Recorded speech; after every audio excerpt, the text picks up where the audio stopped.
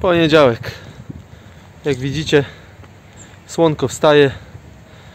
To zrobimy parę kadrów na początek tygodnia. Zobaczcie, co tam się dzieje. Przyostrzymy sobie na tył. Patrzcie. Armagedon normalnie.